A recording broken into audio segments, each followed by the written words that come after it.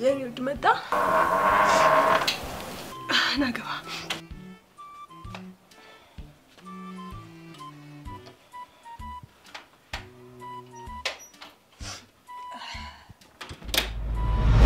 ከዚህ በላይ ምን እንዳደርገው ነው የሚፈልገው? ጓደኞቹን እንኳን በአግባቡ እንከባከብለታል። ከዚህ በላይ ታዲያ ምን ላደርገው? አዝየው ልዙር? እኮ ከዚህ በላይ አዝላ ሱዙር እስቴት እኮ አንተ ሰውዬ ሌላ ኬዝ አለ እንደዚህ ልታጣላ ነው ልታስታርቅ ነው የመጣኸው?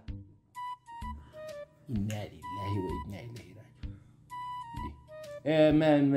ምንድን ነው እስኪ የጎደለብህ? ያው እንግዲህ ሁሉንም ነገር ሰምተናል። ምንድን ነው ጎደለብህ የምትለው? እንዴ ጋሽ ይህንማ ካዲማችን ራሱ የምትሰራው ስራ እኮ ነው።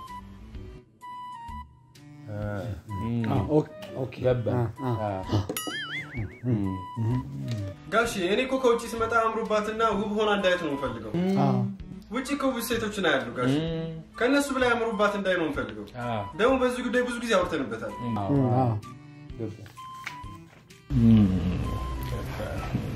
ስለዚህ ጋሽ ሁለተኛ ማግባት ፈልጋለሁ። ጋሼ እኔ ላይ ሁለተኛ ከሚደርብብኝማ ቢፈታኝ ነው። አልፈታሽም፣ ምክንያቱም እወድሻለሁ። ብትወድ ኖሮማ እኔ ላይ ሁለተኛ ለመግባት አልፈ- አውራንበት፣ አልቻልንም። በቃ ተነጋግረን ቆይ አይደለም እኔ ያንተን ከስ ሞላልን እንዴ እንደዚህ ደፋ ቀና የምልልህ? ብዙ ነገር አወራን። በቃ ምንም ልንግባ ከዚህ በላይ ምን እንዳደርግ ነው የምትፈልገው? አንተ? መስማማት አልቻልንም። አይደል?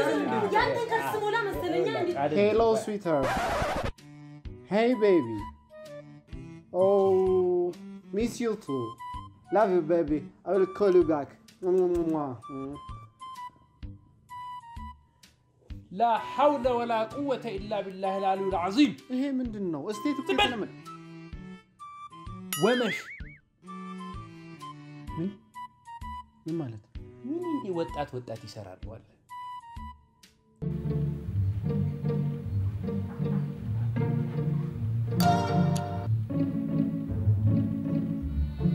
ማነሽ ቢዩቲፉል? ማን ነው ቢዩቲፉል ብለህ ሴቭ ያረካው? ደውላለች። ፊቴ አውራት ማናት? እስኪ ተረጋጊ አንቺ። ተረጋጊ ስትል ትንሽ አጣፍርም? ባለጌ ባለጌ ነህ።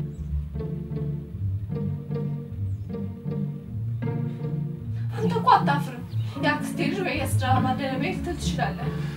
እስኪ ደውልና አውራት። እፊቴ ደውልላት። እስኪ በደንብ አንብቢ። battery full ሲል እኮ ነው vibrate ያደረገው።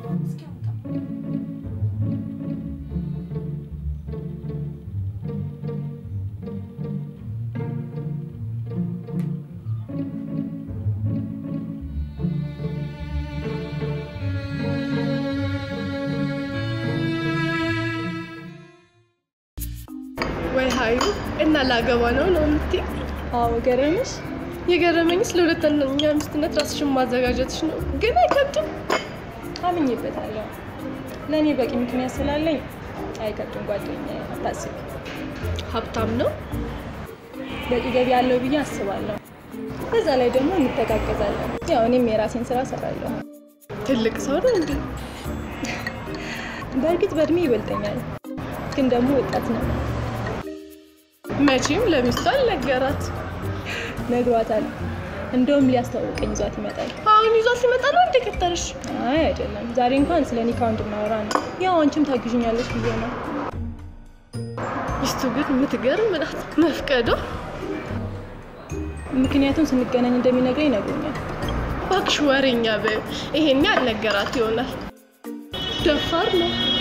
አሁን ሚስት እያለው ሌላ ሴት ምን አስመኘው? ወይ ወንዶች በቃ ያዩትን ሁላ ተመኝተው አግብተው እንዴት ይችሉታል?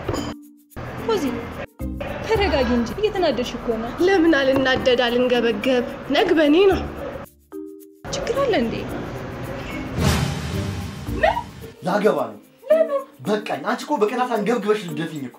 ሌላ ሁለተኛ ሚስት አዎ መብቴ መሰለኝ። መቆሚያ መቀመጫ እኮ አሳጣሽኝ። እንዲህ ስታንገበግብኝ የማርፍበት አገባለሁ። መብቴ ነው። ሴቱ ሁለተኛ ሚስት ለመሆን ይዘጋጃል። አንቺ እኔ ባልሽን ታንገበግቢያለሽ። ለካ እስከ ዛሬ ሰላም እያልኩ ነው የምትለኝ። እያማረትክልኝ ነበረ።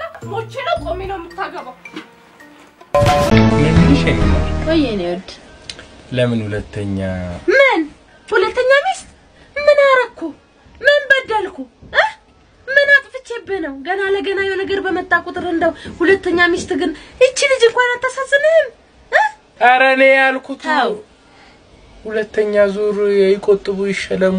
ለምን አንወዳደርም ነው? ኧረ ምን አንተ ደግሞ መከተበት አቅና ነው?